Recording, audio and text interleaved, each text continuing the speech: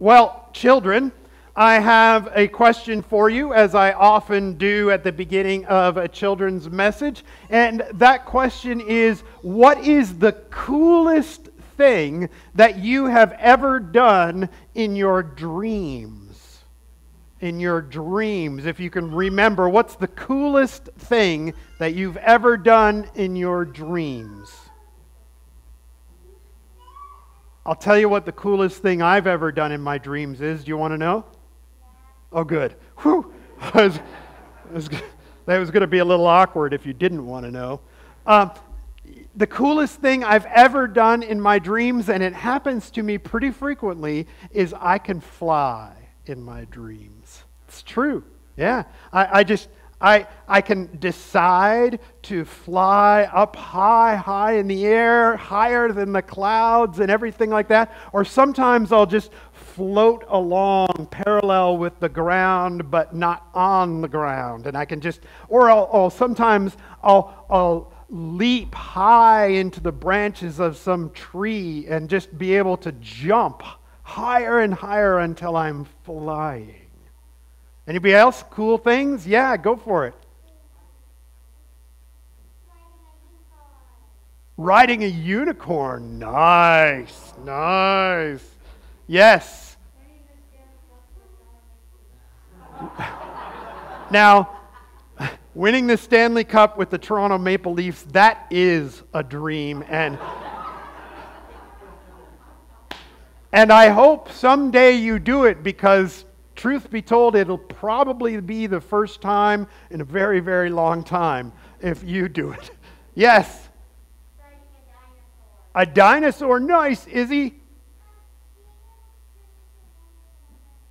Ooh, being able to turn into a mermaid whenever you want. Nice.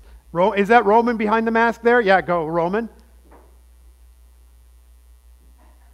It's a secret. I forget. Okay, uh, that's fine. Anybody else? Adults, too? Anything cool you can do as an adult? Maybe you can play piano like an incredible virtuoso. Okay, so children, here's another question What's the difference between the dreams that you have when you're sleeping and the hopes and dreams that you have for your future. Maybe you dream of becoming an astronaut, or maybe you dream of becoming a teacher. What's the difference between those dreams and the dreams you have when you're sleeping? Izzy? Wow.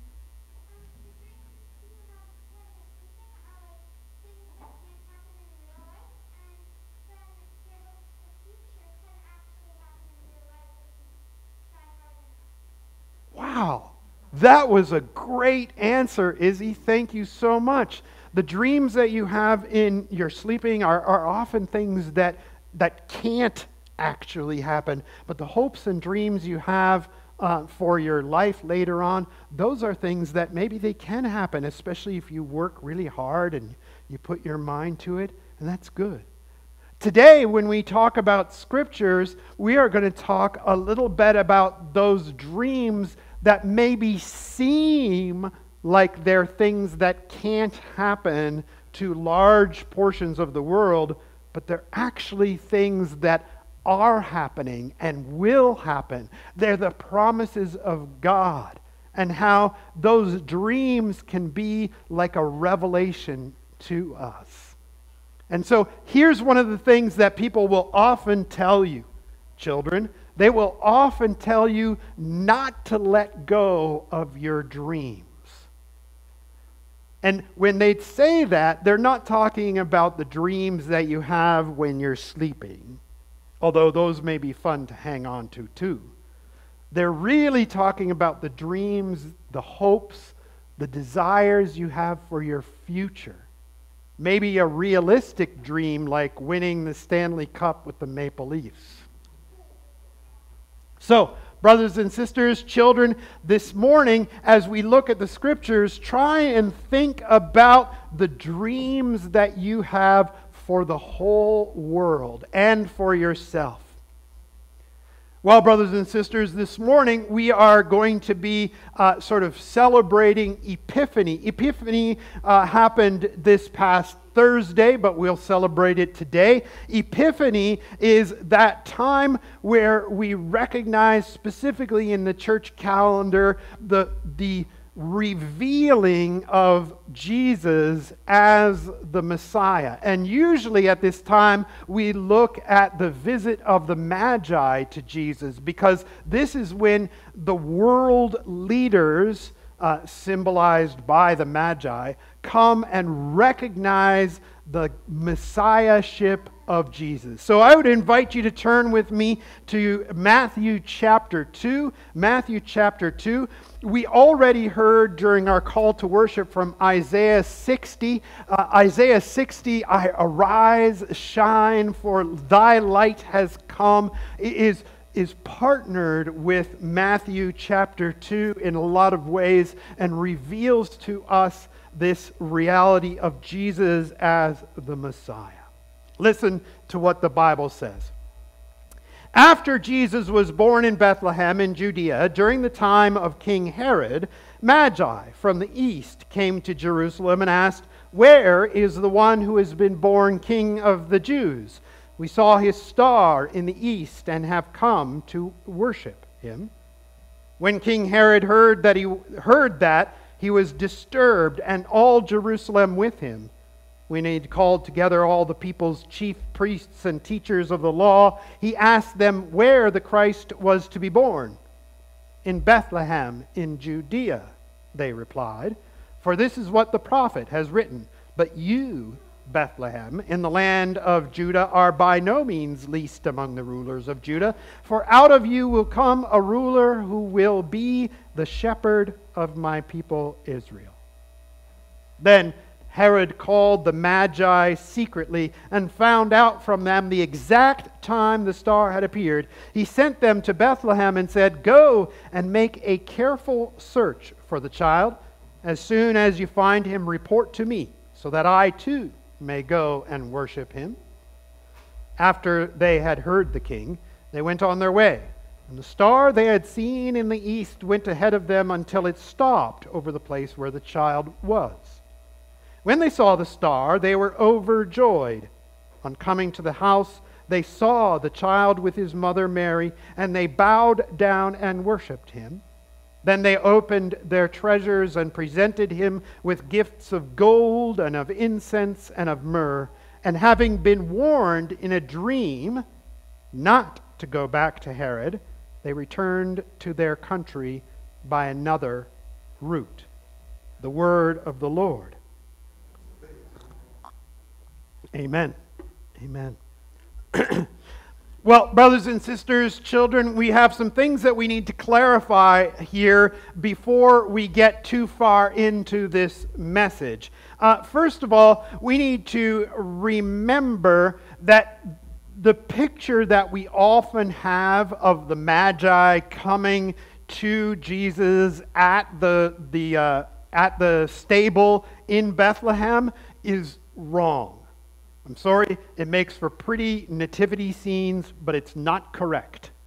The reality is, if we pay attention to this passage, we notice that the star appears when Jesus is born. Not before Jesus is born, but when Jesus is born. And they, they come and they, they, they make their travels from the east. We, we notice that the East is, is the vague and general term that Matthew gives, probably because these, these magi, these wise men, come from so far away that they don't have a name particularly for the country that they come from or anything. They're just from the East. It's like you're from the, west, from the East Coast and you just say they're from away, right? These people are so far away. And so you can imagine, right? Remember, in these days, uh, you, you don't travel by airplane or by, uh, by motorboat or by car or whatever. You're traveling by camel and by foot. And so these wise men from so far away, they see the star shining on the day, the night that Jesus was born, probably at the same time as the angels proclaim to the, the, the shepherds the reality of Jesus' birth. Then the star shines in the sky, and, and these wise men from far away, they see it and then they have to make their preparations to go after they've figured out what it means. And, and, preparations to go, you're talking like a whole caravan with servants and attendants and so on and so forth. So the picture of three lonely guys on camels is probably also not correct. It's probably a whole lot more people than that. And, come to think of it, we don't know how many there were. There weren't necessarily three. There might have been three. We do know that there were more than one because it says wise men. The magi is plural. But we don't know whether it was two, three, four, seven, five hundred. We don't know that at all. All we know is that there were three sort of categories of gifts. We don't even know whether it was like one bar of gold or many items of gold, or whether it was one package or container of incense or many of them. We don't know any of those things. So I'm, I would say sorry for ruining your illusions about Christmas, but I, I, I'm not really sorry about that. So, so we have all these wise men and their entourage coming and making a journey. And, and here's another part of why we know that it was not that they came on the day that Jesus was born. Listen to what the Bible says. Verse 11 of chapter 2. On coming to the house, they saw the child with his mother, Mary, and they bow down and worshiped him. Of course, the stable is not a house, right? It is further evidence that we know that Jesus was not in the stable still with his parents. This is actually the sequence of events. Jesus is born in Bethlehem. The star shines overhead, and the wise men see it from far away and start figuring out what it means and make their plans. Meanwhile, eight days after Jesus is born, Luke tells us, eight days later, Jesus is, as was appropriate and as was the law, Jesus is presented at the temple for, uh, for his blessing and so on. And, and, that's where we hear about Simeon and uh, we, we hear the words of prophecy over him, right? And, and, and then Math, or Luke tells us that after that, they go home to Galilee, to Nazareth. They go home to Galilee, to Nazareth. So Jesus and his parents go home to Galilee to Nazareth and they set up their home there. They live there for some period of time. And that is where the Magi find them at their home in Nazareth. And this would have been maybe a year, maybe a year and a half, maybe two years after Jesus was born.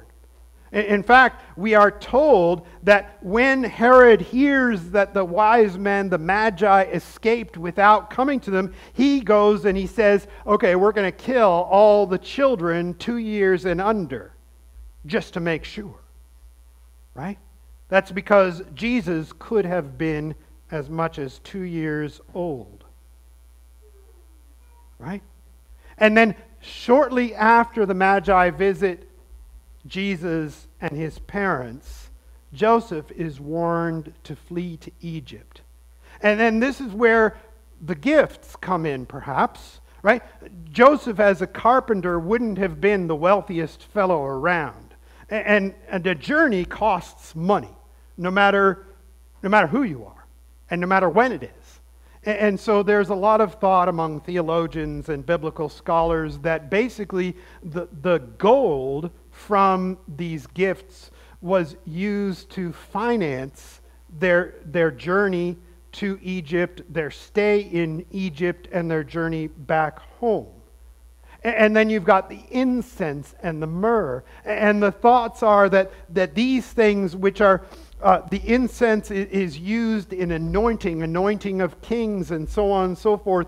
And, and the myrrh is used as part of the burial process. The thought is that perhaps when the ladies are taking care of Jesus' body after his death and embalming it for the grave, that perhaps the myrrh that they would have used for that would be this very same that was mentioned here. Now, hopefully, that clears up some of the details of the story and how it happened and when it happened.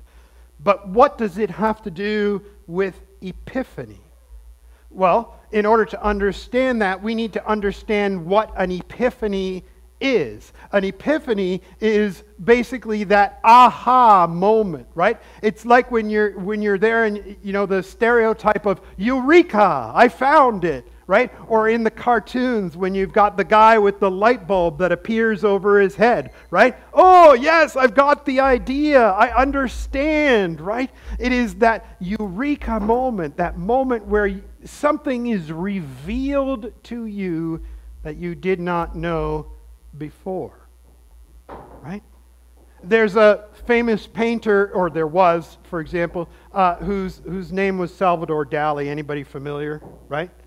He's the guy that paints those weird paintings with the melted clocks and stuff like this, right? He had this idea that the best way to keep his creative juices flowing was to sit in a comfortable chair like this one, well, except maybe more comfortable, with a heavy item in his hand. And he would doze off. And just as he was falling asleep, the heavy item would fall out of his hands and he would startle awake. And his idea was that that space between sleeping and being awake was the space where the magic of dreams and the reality of life met together and you could have the greatest ideas.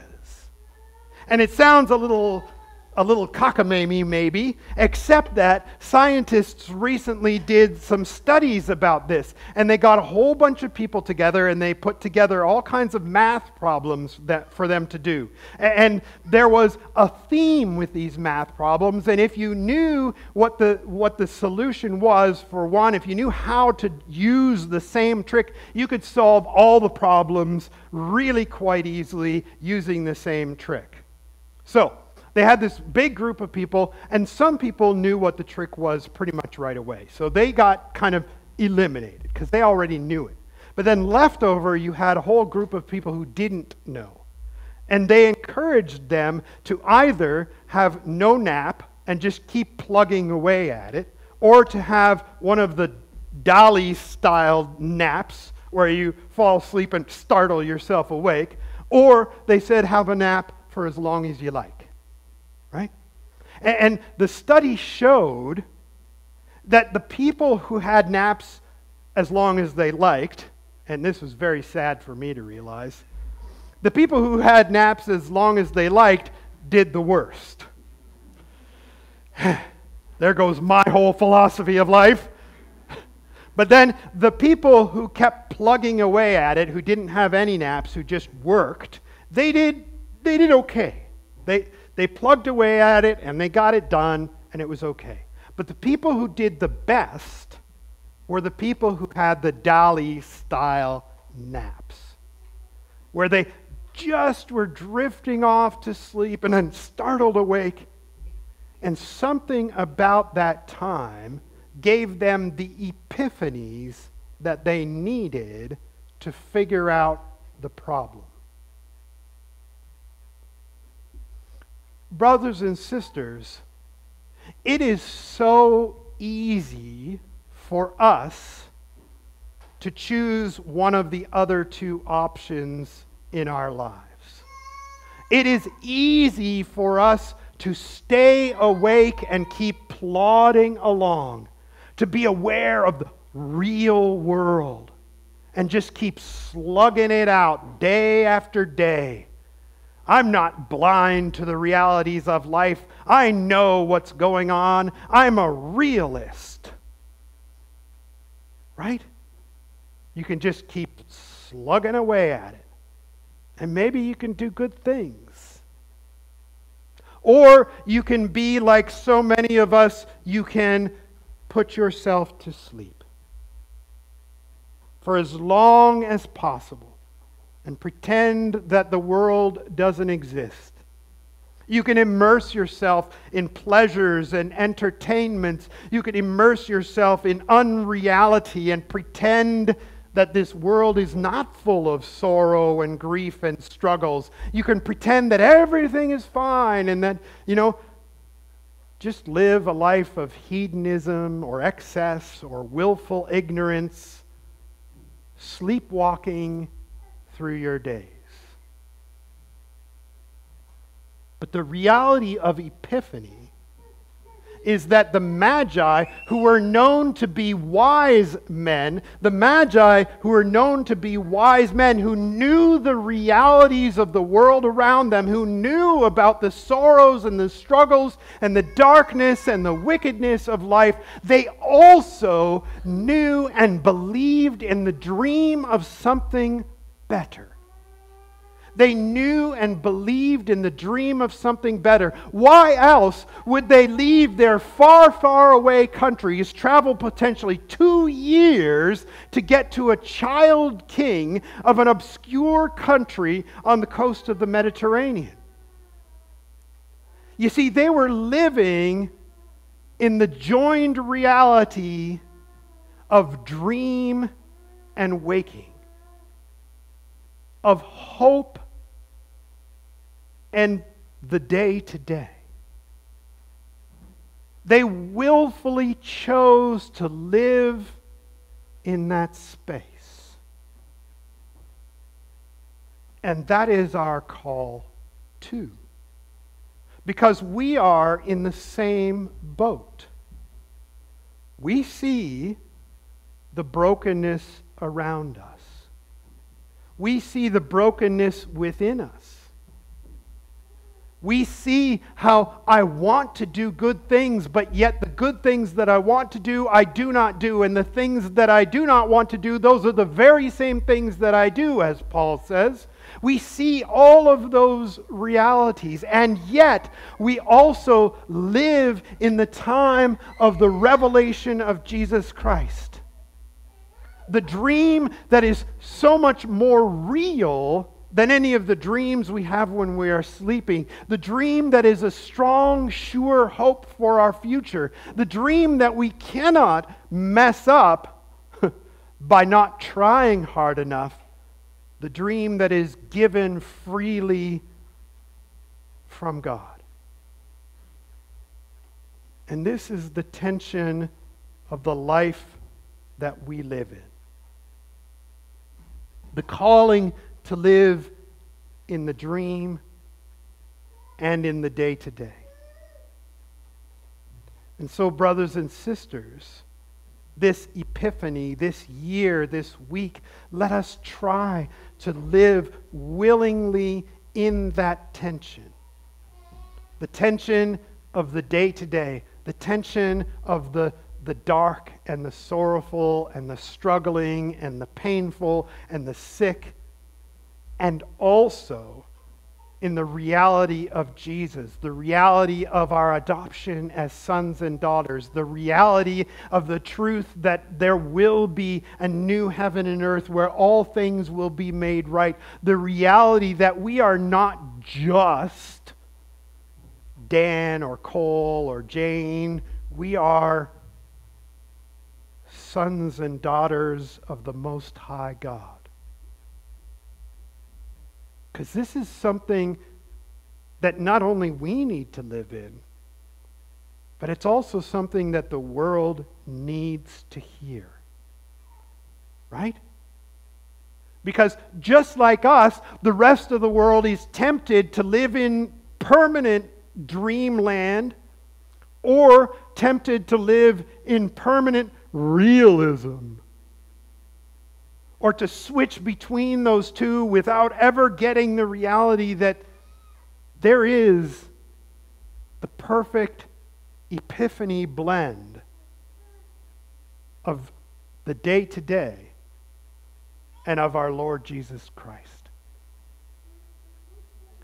So, brothers and sisters, whatever, whatever realities you're dealing with, whether you're on a farm and COVID is not making particular day to day difference for you, or whether you're working in a healthcare or factory setting where 40% of your colleagues are gone on any particular day and your coworkers are stressed out, or whether you're in some situation in between, whether your stresses and sorrows have nothing to do with COVID, or whether your joys and temptations are things that are, that are not healthy or good, wherever you are, come back. Come to the place of wonder, living in tension with the everyday and the real. Let us pray. Father in heaven, thank you so very much for your Son, Jesus Christ, and how you revealed him to the Magi. Thank you, O God, that they can show us how it is possible to live in both the hope of the dreams that we have, dreams that you gave us, dreams that are more sure and more real than any waking life could be, and yet also living with the realities of our everyday existence. Lord, help us. Help us to be epiphany people, people who live in the wonder of that constant tension and reality. Lord, guide us, that we may give hope to those around us hope for a future in your name and through your power, and hope for today through your spirit and through your word and through deeds that you inspire us to do. Lord, may we acknowledge and give our gifts to you each and every day, living in this truth. We pray this in Jesus' name. Amen. Amen.